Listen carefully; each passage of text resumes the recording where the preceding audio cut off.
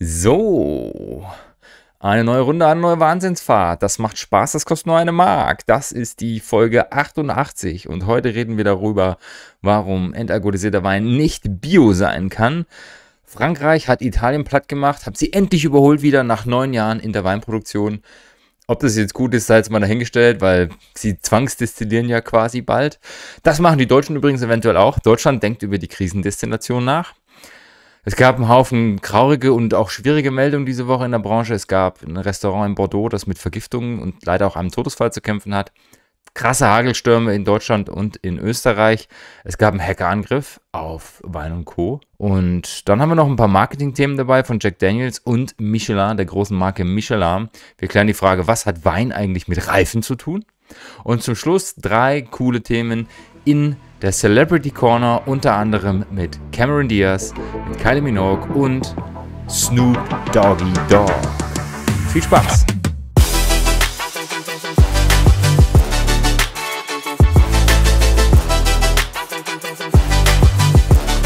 Willkommen zur Bino und Pixel Podcast Folge Nummer 88. Kurz vor dem Oktoberfest in Deutschland, mitten in der Sturmzeit in Österreich. Was das bedeutet, klären wir alles in dieser heutigen Folge. Bevor wir in die Weekly News der Weinbranche starten, es gibt auch wieder mal was Neues im Winey Art Club. Die Lesezeit ist ja jetzt mittendrin statt nur dabei. Überall wird gelesen und das gilt auch für den Winey Art Club. Unser diesjähriges Partnerweingut ist in Franken und die erste Abstimmung ist schon durch. Wir haben die erste Frage rausgegeben, machen wir ein Petnat oder machen wir Weißwein? Und mit knapp 62 Prozent hat sich die gesamte Community für Petnat entschieden. Das heißt, wir werden in Kürze das Weingut Neumaster in Franken begleiten bei der Herstellung von Petnat aus weißen Rebsorten. Ziemlich coole Sache. Für alle, die jetzt denken, hä, was, Winey Art Club? Was macht das in dieser Folge? Der Winey Art Club ist eine Community von Gleichgesinnten, die gemeinsam ihren eigenen Wein machen. Und wir haben das letztes Jahr mit dem Weingut Keller Künstler gemacht. Wir haben einen sehr, sehr coolen Rotwein daraus gemacht, der jetzt noch im Keller liegt und vielleicht Ende des Jahres dann auf die Flasche kommt und ausgeliefert wird. Und wir freuen uns über jeden, über jede, die dabei sein mag. Sprecht mich einfach an, schreibt eine Mail oder schaut auf wineart.club. Dort gibt es die Möglichkeit, Mitglied im Club zu werden. Ich halte euch in diesem Podcast auch natürlich auf dem Laufenden, was dort so passiert. Aber jetzt geht es erstmal um die wöchentlichen News der Branche. Und wie ich schon angeteasert habe, unter anderem geht es heute, und damit starten wir auch rein in die Folge, die Frage, kann ich einen entalkoholisierten Wein Bio labeln oder nicht. Wir haben in der Folge 87 schon darüber gesprochen, was jetzt alles Neues aufs Etikett kommt. Und da geht es natürlich auch darum, was darf ich auf das Etikett schreiben, wenn ich zertifiziert bin bei bestimmten Dingen. Es gibt Zertifizierungen mit offiziellen Labels für vegan, für Bio, für Demeter, für weiß ich nicht, was es noch alles da an, an Dingen gibt, die ich mir aufs Etikett packen kann. Fakt ist, wenn ich ein Produkt habe, das biologisch zertifiziert ist, darf ich das entsprechend zugehörige Logo dann natürlich auch benutzen. Das gilt nicht mehr, sobald dieses Produkt durch die Kolonne gelaufen ist und entalkoholisiert wurde. 2021 ist ja dieses Gesetz verabschiedet worden von der EU, das eben für entalkoholisierte Weine auch, ich sage mal, bestimmte Dinge festsetzte, bestimmte Dinge aber auch nicht ganz klärte. Und momentan gibt es so eine, so eine Übergangsvereinbarung, die eben sagt, wenn ihr einen Wein habt, der zwar ursprünglich bio war, aber entalkoholisiert wurde, dürft ihr seit diesem Jahr leider nicht mehr draufschreiben, dass es ein Biowein ist. Ihr dürft ihn auch nicht mehr mit den Bio-Labels versehen. Es gibt ja dieses EU-Logo für biologische Landwirtschaft. Das darf alles nicht mehr drauf. Es ist jetzt in Klärung und momentan sagt der Zeitplan der EU, dass sie es wahrscheinlich bis Ende zweites Quartal 2024 irgendwie geklärt haben. Bis Ende diesen Jahres dürft ihr noch auf die Flasche schreiben, entalkoholisierter Wein aus Biowein. Und alles, was danach kommt, darf leider nicht mit Biosiegel versehen werden.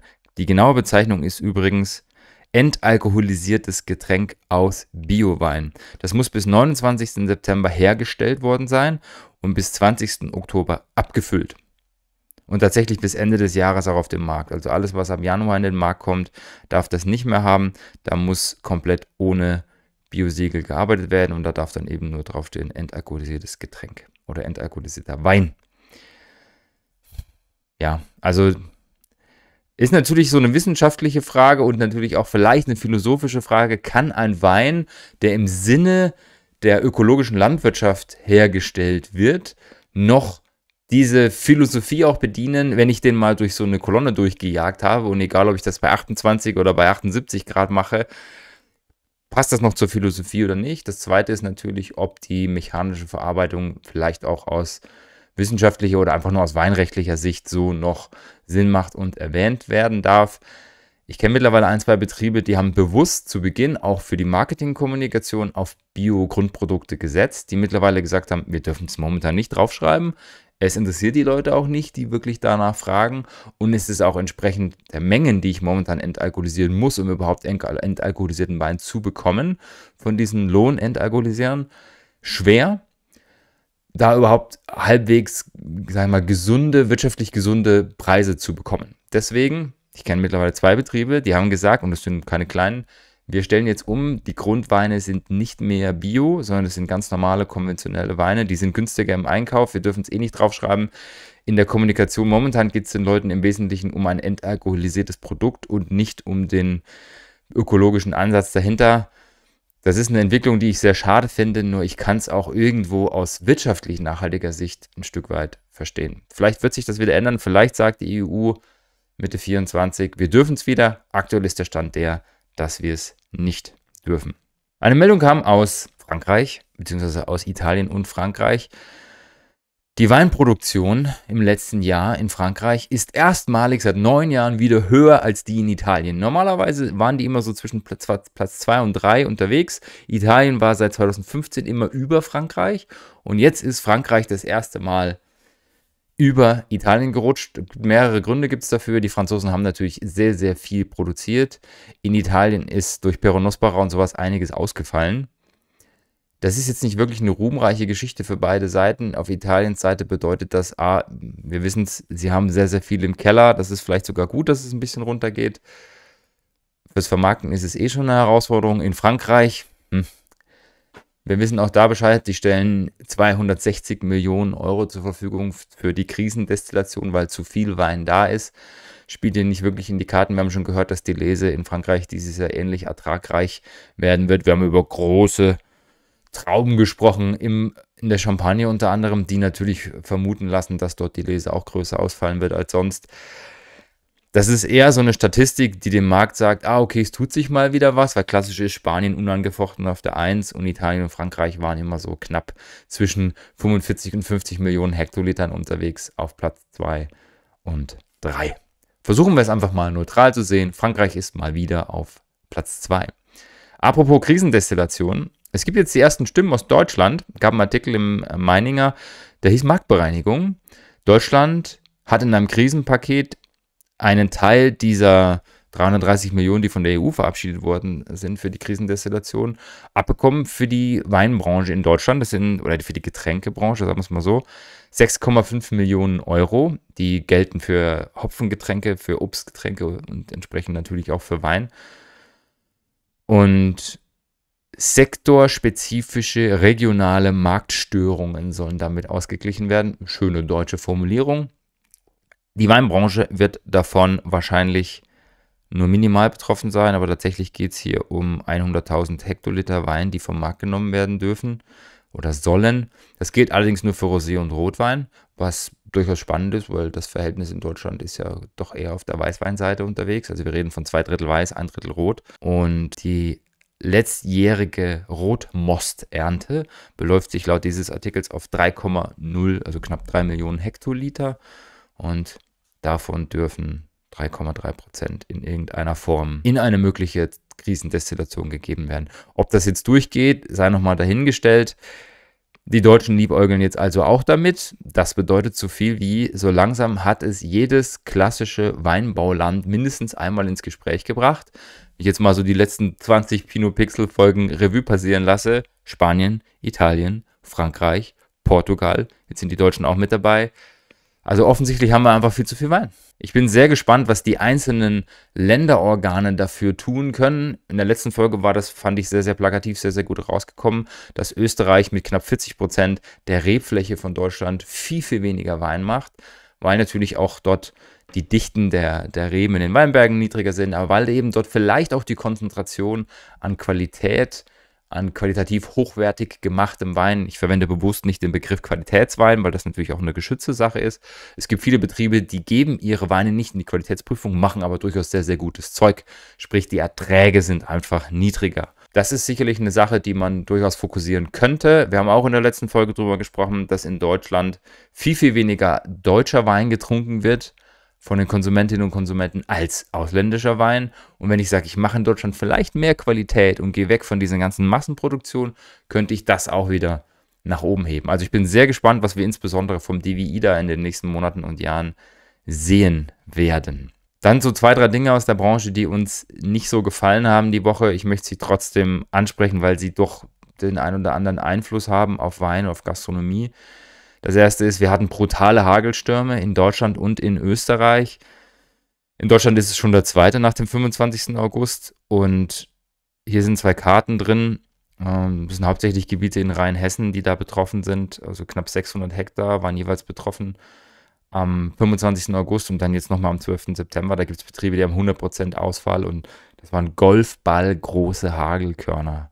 Und wenn ihr euch das einfach nur mal bildlich vorstellt, das sind Hagelkörner, die zu Hunderten wie Golfbälle vom Himmel fallen. Das kann auch wirklich schmerzhaft sein und wehtun, wenn Menschen dabei sind, draußen sind, in der Natur. Für Autos ist es eh nicht geil. Also die Versicherungsbranche hat da sehr, sehr viel auch mit zu tun gehabt und äh, ordentlich Schäden natürlich zu verzeichnen gehabt. Die Reben wären natürlich dabei langfristig vielleicht sogar geschädigt. Also wenn ihr euch das vorstellt, da werden ja nicht nur die Trauben und die Blätter zerstört, sondern wenn die Hagelkörner so groß sind, dann können auch Triebe beschädigt werden, vielleicht sogar die, die, die Grundstöcke, die Rebstöcke.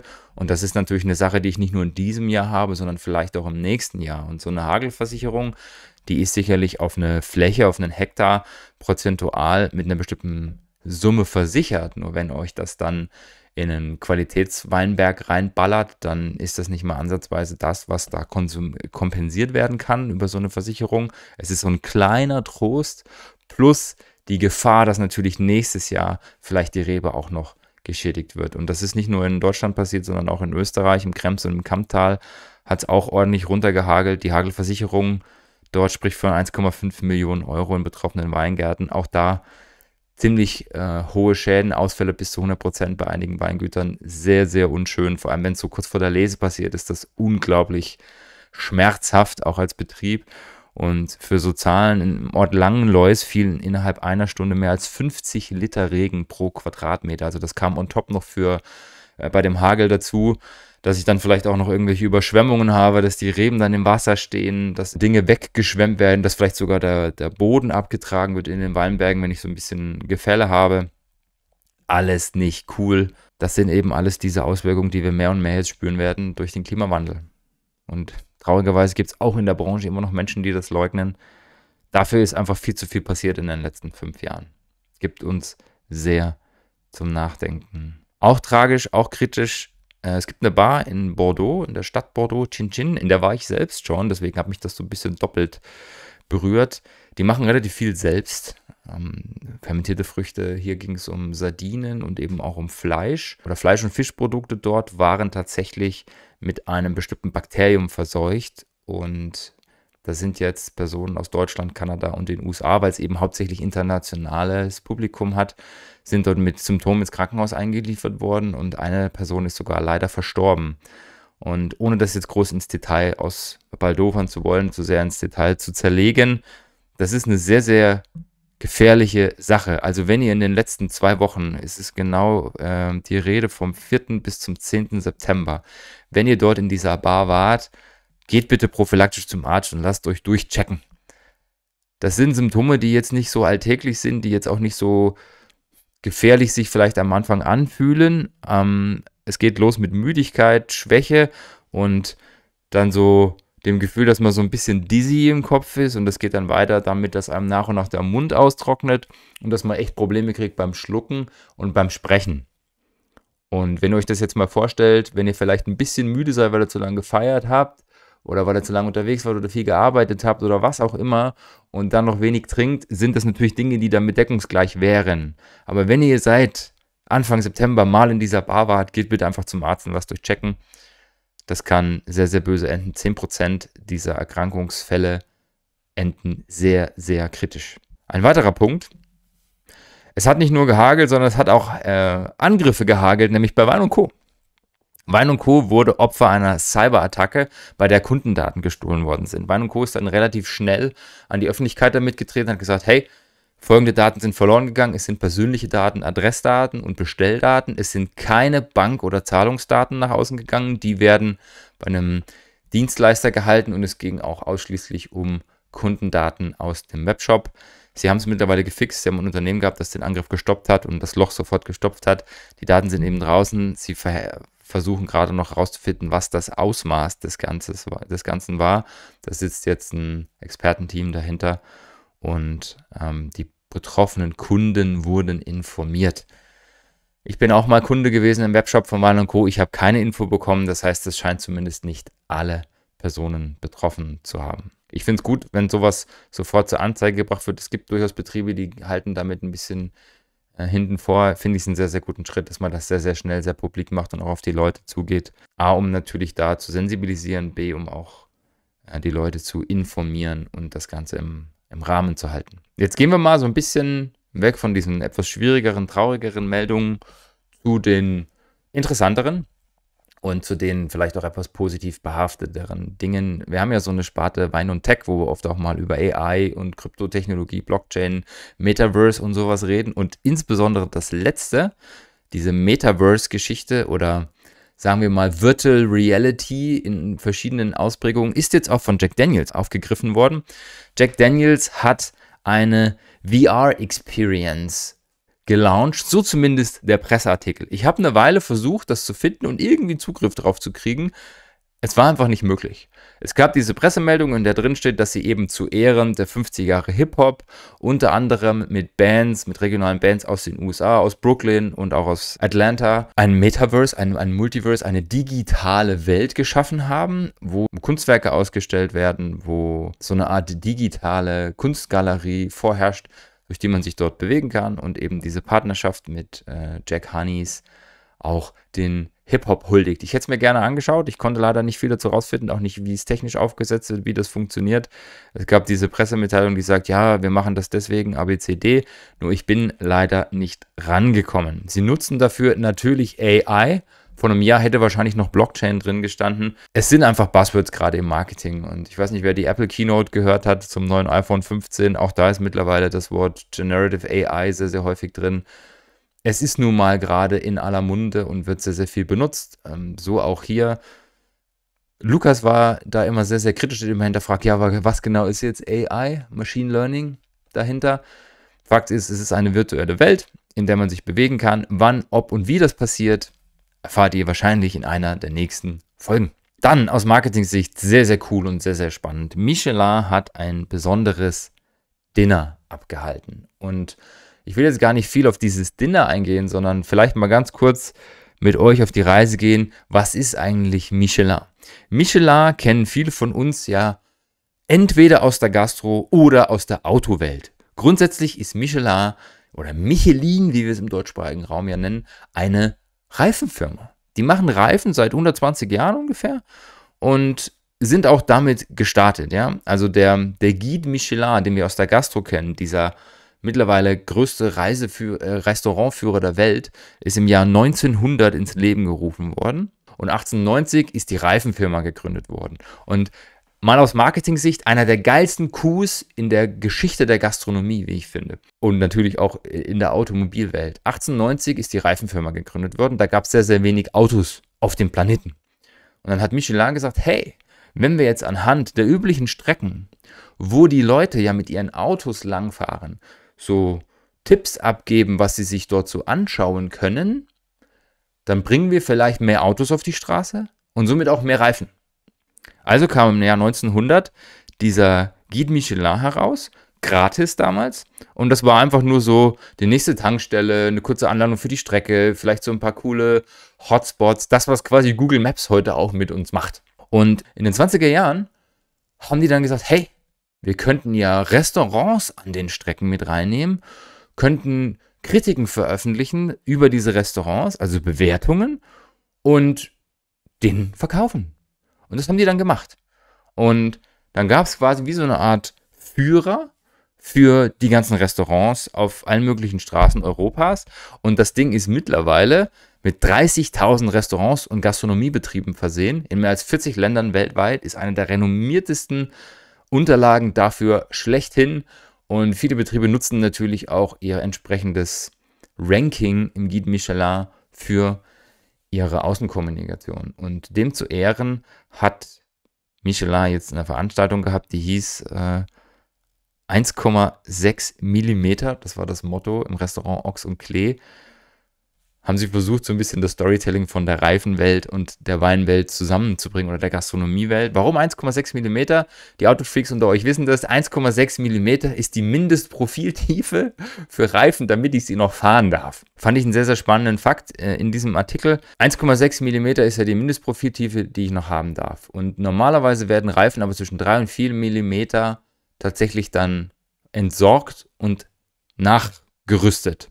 Und Michelin hat das Ziel, eine Sicherheitsgarantie zu geben für Reifen mit 1,6 mm Profil. Und was dann passieren würde, ist, wenn die Menschen das runterfahren bis auf 1,6 mm, wären theoretisch 128 Millionen Reifen und 6,6 Millionen Tonnen CO2 Einsparung pro Jahr weltweit möglich. Das ist unglaublich, was da für ein Potenzial dahinter steht. Und wenn man eben sagt, hey, die Reifen schaffen das, auf diese 1,6 Millimeter runterzugehen. Und tolle Philosophie, äh, spannende Statistik tatsächlich auch. Und in diesem Essen haben sie jetzt natürlich versucht, das Ganze so ein bisschen aneinander zu reihen, ein bisschen ähm, spannend zu verkaufen. Es ist zum Beispiel in Reifen bei der Herstellung werden Sonnenblumen und Orangen verarbeitet, weil die Füllstoffe zur Performance der Reifen beitragen. Und die haben das natürlich dann ins Gericht eingebaut. Sie haben so einen Sonnenblumenkopf äh, gebraten mit Kumquats, dann in so einer Pasta gefüllt. Also phänomenal. Sehr, sehr spannend fand ich auch die Argumentation. Michelin hat einen Reifenabrieb von 95 Gramm. Durchschnittliche Reifen haben 122 Gramm.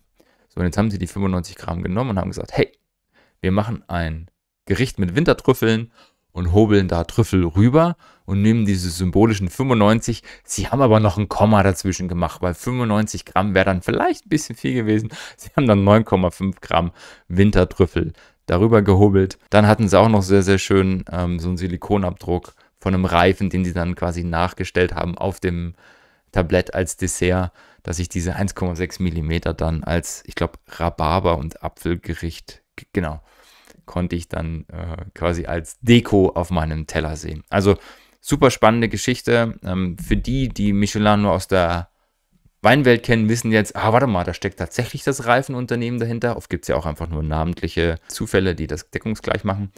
Die, die es aus der Autowelt kennen, wissen jetzt, ah, okay, es gibt auch diesen Guide. Vielleicht nehme ich den mir mal mit, wenn ich das nächste Mal auf der Reise bin. Bücher lesen soll ja auch noch ganz cool sein heutzutage, habe ich gehört, und nicht nur mit Google Maps und Co. unterwegs sein, wenn auch die Rezessionen da natürlich ein bisschen breitfassender, aber eben auch hedonischer sind. Für alle anderen, die es eh schon wussten, ist es eine coole Story zum Nachlesen, packe ich euch in die Show Notes. Zum nächsten Marketing-Gag. Der war ein bisschen strange, als ich ihn gelesen habe.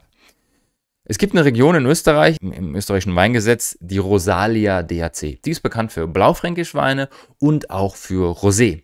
Und just gerade in diesem Moment, am Freitag ab 10 Uhr, starten die eine Werbekampagne, eine Marketingkampagne vor der französischen Botschaft, wo sie mit so plakativen und auch provokativen Plakaten ins Rennen gehen. Ich mache es hier mal kurz auf.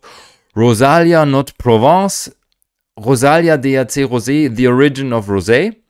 The Origin of Rosé liegt in der Rosalia.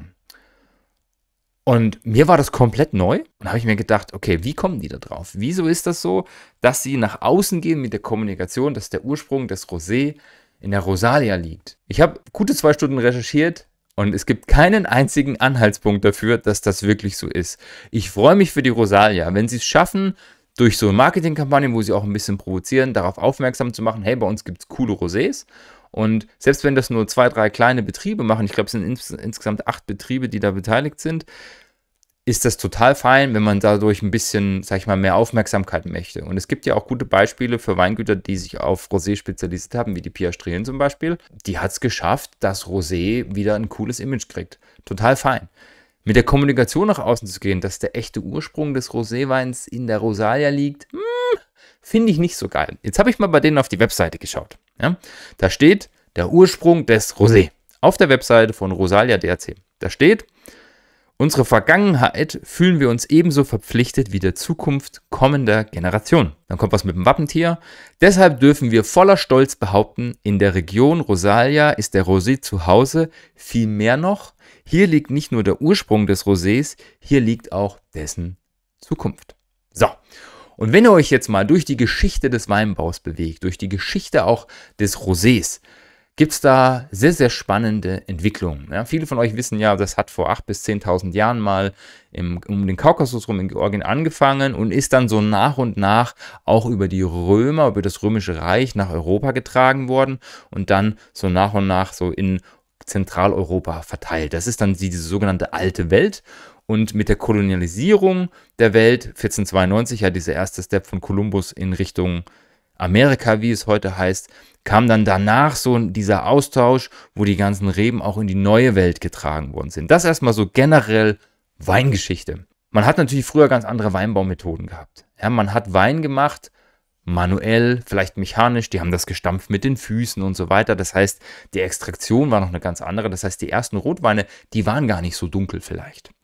Und Rosé, wie wir ihn heute kennen, der ja faktisch aus roten Trauben gemacht wird, die aber nicht so lange mit dem Saft nach dem Pressen in Kontakt bleiben, dass sehr, sehr viel Farbe extrahiert wird, sondern vielleicht nur ein paar Stunden oder maximal ein paar Tage, dann ist es einfach hellroter bis hin zum rosa. Und es gibt ja durchaus auch Rosés von der Provence, durch die ihr Zeitung lesen könnt, die ja quasi fast weiß sind mit so einem Hauch Roséfarbe. Der Ursprung des Rosés ist jetzt nicht wirklich dokumentiert, dass irgendjemand man irgendwann gesagt hat, das ist jetzt Rosé. Nur es gibt schon Nachweise in der Geschichte, dass im Mittelalter, im 12. Jahrhundert, im Römischen Reich Getränke vorkamen, auch in Südfrankreich vorkamen, die eine hellere rote Farbe hatten. Und das erste, wo es tatsächlich in die offizielle Kommunikation ging, diese Weine heißen Rosé und sind gedacht für leichte Sommerabende, für den lockeren Weingenuss, insbesondere von roten Trauben. Das war in den 1930er Jahren in Südfrankreich. Die Franzosen haben nämlich in den 30er Jahren eingeführt, dass ihre Feiertage plötzlich bezahlt werden.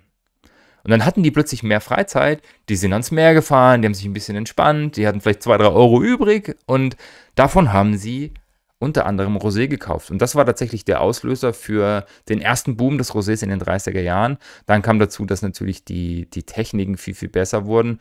Ich konnte sehr viel sauberere Weine produzieren im Rosé-Bereich. Ich konnte sehr, sehr viel dunklere Rotweine durch Extraktionsverfahren machen und dann hat sich das nach und nach viel, viel stärker abgegrenzt.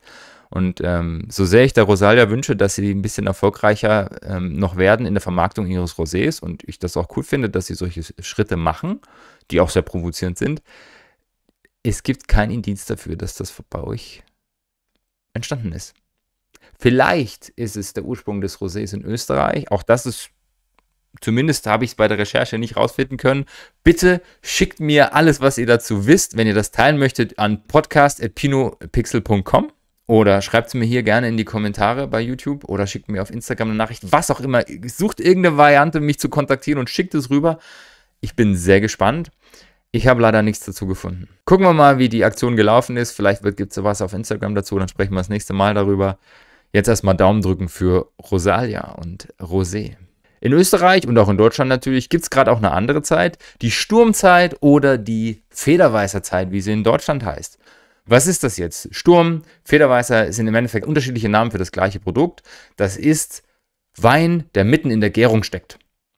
Was machen also die Betriebe? Die hauen ihren Most in einen Tank, in ein Fass, was auch immer. Der fängt an zu gären und was ja dann passiert ist, die Hefe futtert und futtert und futtert und der Zuckergehalt wird langsam abgebaut und der Alkoholgehalt steigt damit, weil die Hefe, während sie Zucker frisst, fleißig als Abfallprodukt CO2 und Alkohol produziert. Das heißt, was kriege ich dann ins Glas, wenn ich einen Federweißer am Anfang der Gärung bestelle? Ihr kriegt ein babsüßes Getränk mit ganz wenig Alkohol und ein bisschen CO2. Ja, und das ist mitten am Gern, weil die Hefen sind da ja drin. Und je weiter ihr an das fertiggestellte Produkt kommt, desto niedriger wird der Zuckergehalt, desto höher wird der Alkoholgehalt. Und jeder sollte dann natürlich schauen, wo so sein Geschmacksbereich liegt und deswegen schmeckt das Zeug auch so unterschiedlich. Aber das kann irgendwie 3% Alkohol haben und weiß ich nicht, 80 Zucker. Es kann aber auch irgendwann 12 Alkohol haben und nur noch 5 Zucker oder sowas. Ich weiß nicht, ob man das da noch rausgibt äh, zum Verkauf, aber irgendwo so zwischendrin bewegt sich das. Und die ÖWM, die ja generell eine ziemlich coole Marketingkommunikation macht, hat jetzt hier das zusammengeschrieben. Was ist ein Sturm? Warum gibt es das und was steckt dahinter? Und ich, die Fakten, die möchte ich euch nicht vorenthalten. Also das Einmaleins des Sturms für Österreich gilt ähnlich für den Federweißer in Deutschland. Sturm ist teilweise vergorener Traubensaft, zu 100% aus Österreich. Also ich darf nichts als Sturm labeln, wo die Trauben irgendwie von international kommen. Die müssen aus Österreich sein. Der Verkaufszeitraum ist beschränkt auf den 1. August bis zum 31. Dezember und es ist damit das letzte saisonale Produkt Österreichs. Die Flaschen sollten stehend gelagert werden. Sie werden nicht ganz verschlossen, weil da sonst eben der Druck entsteht. Deswegen sifft das so ein bisschen raus. Und der eine oder die andere, die dazuhört, die das früher nicht wusste, ich habe diese Erfahrung aufgemacht. Du kaufst so eine Flasche, legst sie in den Kühlschrank, weil liegend lagern, Platzproblem, was auch immer. Und dann sifft das den Kühlschrank voll. also kann passieren. Also bitte stehend lagern, damit das CO2 raus kann, weil das Zeug gärt ja noch vor sich hin. Das prickelt leicht und ist so eine Mischung aus süß, herbem Geschmack, weil da ist Zucker drin, da ist Säure drin und Irgendwann entsteht natürlich auch der Alkohol. Speiseempfehlung für Österreich: Bretteljause, also so eine Art Wurst- und Käseplatte mit sauren Gurken drauf meistens noch. Hausgemacht von den Weingütern, was ich jetzt besonders witzig finde. Ich glaube, das ist eher so ein österreichisch regionales Ding. Beim Anstoßen die linke Hand verwenden, wahrscheinlich weil man mit der rechten wahrscheinlich parallel die Bretteljause isst und Mahlzeit statt Prost sagen. Das war eine meiner ersten Erkenntnisse in Österreich. Das sagt man nicht guten Appetit oder Prost, die sagen Mahlzeit. Sobald die was futtern, sagen die Mahlzeit. Total fein. Also das gilt für Österreich. Und ich glaube so vom, vom Grundkonstrukt her, dass das gern der Traubensaft ist, der so langsam Wein wird, äh, dass das primär aus Deutschland kommen soll, ist das gleiche für den Federweißer. Bisschen auf den Bauch hier aufpassen, weil zu viel davon, das grummelt dann vielleicht im Bauch. Grundsätzlich ein ganz, ganz nettes Getränk, das man das ein oder andere Mal genießen kann. Vom einem Saisonprodukt zum nächsten und das ist eigentlich kein Saisonprodukt. Mittlerweile ist es ein Saisonprodukt, aber es ist einfach das Volksfest der Welt. Das Oktoberfest steht an, startet ja bereits nächstes Wochenende und geht dann wieder für zweieinhalb Wochen in die Vollen im wahrsten Sinne des Wortes.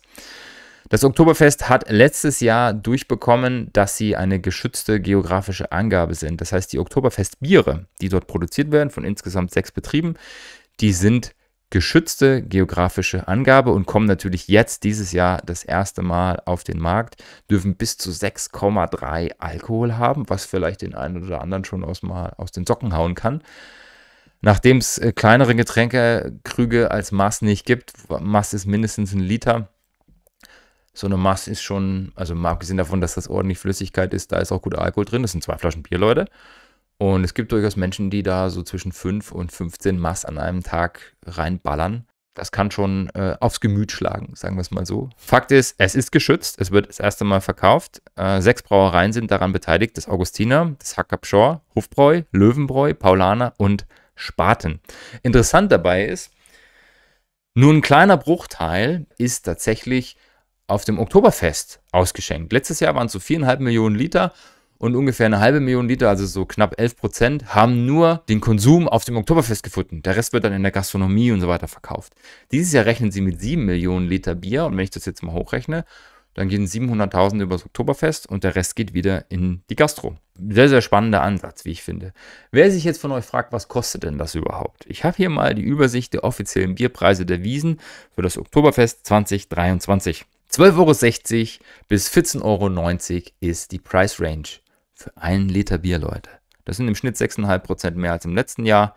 6,12 um genau zu sein. Ich weiß nicht. Also klar, es war mal eine Tradition. Es ist ein Stück weit für viele Leute auch noch Tradition. Ich kenne Leute, die nehmen sich zwei Wochen frei, um dort entweder zu arbeiten oder zwei Wochen dort zu sein. Es ist für viele Leute auch äh, Zeitpunkt, um Business zu machen. Es ist für viele Firmen der Ort, wo sie ihre Team-Events feiern. Also der sozial-gesellschaftliche Charakter ist total verständlich, fein. Mit Tradition hat es nur noch wenig zu tun. Es gibt diese Eudewiesen, wo man hin kann und sich auch noch die Fahrgeschäfte von 1920 oder sowas, 20er Jahre anschauen zu können. Das ist ganz nett. Für 15 Euro Liter Bier ist mittlerweile schon echt verrückt. Und das eigentlich Krasse daran ist, ist, das ist ja nicht nur für das Bier so teuer.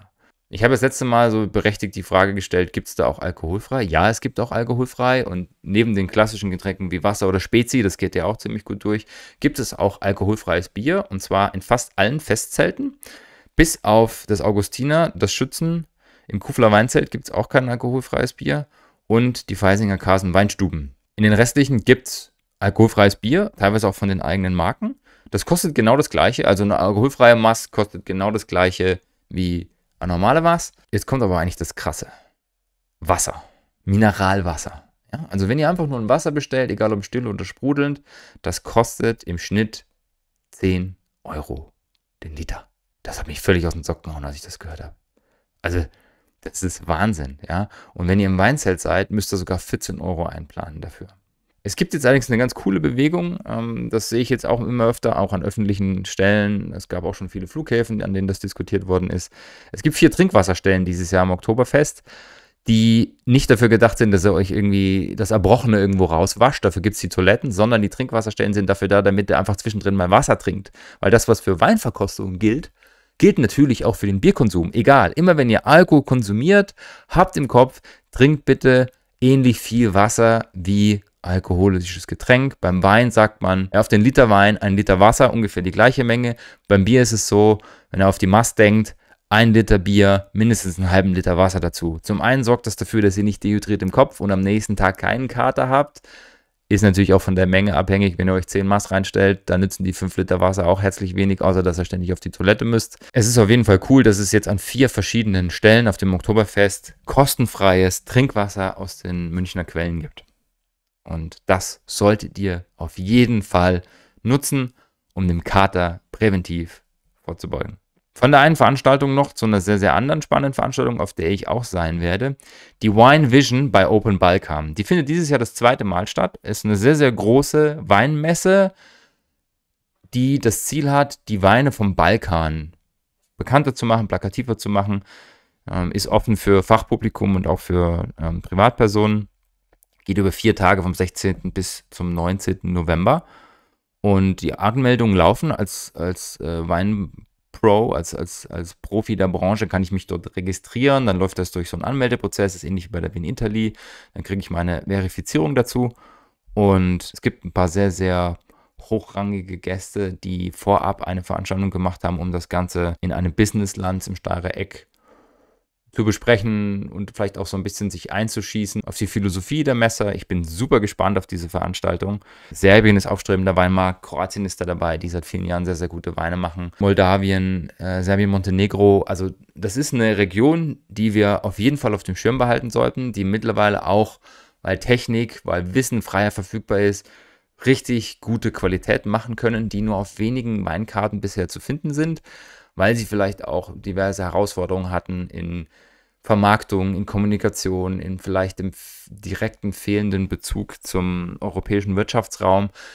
Kroatien hat jetzt vor kurzem den Euro bekommen und hat es da vielleicht jetzt noch einen Ticken einfacher. Slowenien hat den Euro schon länger. Nichtsdestotrotz super aufstrebende Region. Ich bin sehr gespannt auf die äh, Messe und auf winevision.biz findet ihr weitere Informationen und auch die Anmeldung, wenn es euch interessiert. Ich kann es euch ans Herz legen. Den Link packe ich euch in die Show Notes. So, und jetzt rein in die Celebrity Corner. Fangen wir an mit Cameron Diaz, Schauspielerin, hat eine eigene Weinlinie namens Everline oder Avaline. Ich weiß gar nicht, ob das eine Anspielung auf die AVAs in den USA ist. Das kann gut sein. Auf jeden Fall, sie hat endlich die richtige Rebsorte für ihr Portfolio entdeckt und holt sich einen Pinot Noir rein. Ähm, es wird ein französischer sein, der in ihr Portfolio aufgenommen wird. Nach eigener Kommunikation äh, ist es ein Wein, der nach frisch gepflückten Kirschen und Himbeeren schmeckt, also eine sehr, sehr fruchtige Variante. Ähm, wenn das der Wein hier auf dem Foto ist, dann hat er auch eine relativ helle Farbe und ähm, ist unter der Marke Everline vermarktet und die ist sowieso, also die steht für ähm, biologisch produzierte, veganfreundliche Produkte und mit einer sehr, sehr transparenten Kommunikation. Everline ist in der Branche durchaus mittlerweile Nummer und nach eigenen Aussagen sind sie die Nummer zwei der biologischen Weinmarken im Retail und tatsächlich die am schnellsten wachsendste in den USA, die mittlerweile in 42 Staaten plus Washington DC verfügbar ist. Um nochmal auf den Pinot Noir zu kommen, ähm, vielleicht kriege ich den hier irgendwo. Mal schauen, ob der im europäischen Markt verfügbar sein wird. Der soll in den USA 26 Dollar kosten. Das ist schon eine Ansage für einen leichten Pinot Noir aus Südfrankreich. Nur wie wir ja auch wissen, sind die Weine aus Europa, die es in den USA gibt, häufig in einem anderen Preis-Level unterwegs, durch Transport, durch steuerliche Geschichten und so weiter. Und vielleicht gibt es den ja irgendwann in Europa. Ich finde das Etikett sehr, sehr ansprechend, sehr, sehr cool. Ähm, relativ simpel gehalten, schaut fast aus wie so ein Aufkleber auf diesen Apothekerflaschen früher, die sehr, sehr aufgeräumt, sehr, sehr strukturiert waren. Da steht einfach mit schwarzem Text Everline drauf, made with organic grapes und unten drunter dann die Zusätze Storytelling, Perswell, also ganz nette Sache. Link dazu in den Show Notes. Von der einen Frau in der Weinbranche zur nächsten und wahrscheinlich zu einer der bekanntesten in der Weinwelt, Kylie Minogue, über die haben wir auch schon ein paar Mal gesprochen. Die hat ja ihre eigene Weinmarke, ist sehr, sehr präsent, gilt als die Hands-on-Dame in der Weinwelt aus der Celebrity-Ecke, weil die sehr, sehr viel im Weinkeller verbringt, äh, sich sehr, sehr stark weiterbildet im ganzen Thema, überall ihr Gesicht dazu zeigt. Also sie ist nicht einfach nur das Shiny Face nach außen für die Marke, sondern die treibt sich auch wirklich im Weinberg und im Weinkeller rum und versucht da stärker reinzuwachsen, ist deswegen auch sehr respektiert in der Branche. Auf der Prowein hat sie sich gezeigt, wie gesagt. Und diese Dame sucht jetzt einen persönlichen Sommelier. Also wer Interesse hat, mit Kylie Minogue durch die Welt zu jetten, sie dabei zu begleiten, ihre Marke zu repräsentieren, sie vielleicht auch in äh, Weindingen zu beraten, insbesondere was Konsum und Genuss angeht, der kann sich jetzt bei ihr bewerben. Angeblich sind es 55.000 Pfund im Jahr, also so ungefähr 60.000, 65.000 Euro Grundgehalt. Fair enough. Wer daran Interesse hat, der darf jetzt die Bewerbungen schreiben. Der Artikel ist aus dem Mirror. Ich habe jetzt keinen direkten Link gefunden, aber ich bin mir sicher, wenn man da sich eine Weile durch das Internet bewegt, gibt es da irgendwo die Möglichkeit. Vielleicht macht sie das auch nur über ihr Netzwerk, hat es mal rauskommuniziert. Ich habe absolut keine Ahnung. Aber ich finde es einen sehr, sehr coolen Marketing-Move. Ja, soviel zu Kylie Minogue. Wer für sie arbeiten möchte, für den ist das vielleicht was. Zum Schluss noch zu einem alten Bekannten und da gibt es jetzt nicht unbedingt News, aber es gibt einen sehr, sehr schönen Artikel aus dem Forbes. Snoop Dogg hat ein Interview gegeben, dem Forbes Magazine, die so ein bisschen darüber gesprochen haben, wie kann es denn sein, dass ein Typ, der vor 30 Jahren sein erstes Hip-Hop-Album rausgeschmissen hat, das durchaus sehr kontrovers diskutiert war, der so ein Dirty Image hat, der eine eigene Cannabis-Brand hat, der 2020 in Wein eingestiegen ist, damals mit dem Cali Red, mit auch einer sehr, sehr offensiven Kommunikation, dass Wein nicht der Alltagskram sein soll, den es überall gibt, sondern Cali Red ist eben anders als andere Weine. Er hat eine brutal gute Kooperation mit 19 Crimes, mit dieser Marke aus Australien, die mit ihm sicherlich auch nochmal einen zusätzlichen Wind erlebt hat. Er hat dann das einen Rosé dort reingebracht, er hat einen Weißwein mit reingebracht und das ist für beide Seiten sehr, sehr gut. Und dieser Artikel redet so ein bisschen darüber, wie ist die Personal Brand Snoop Dogg vom Hip-Hopper vielleicht auch zu einem Businessman geworden was steckt alles dahinter, was sind so seine Erfolgsfaktoren. Sehr, sehr spannender Artikel.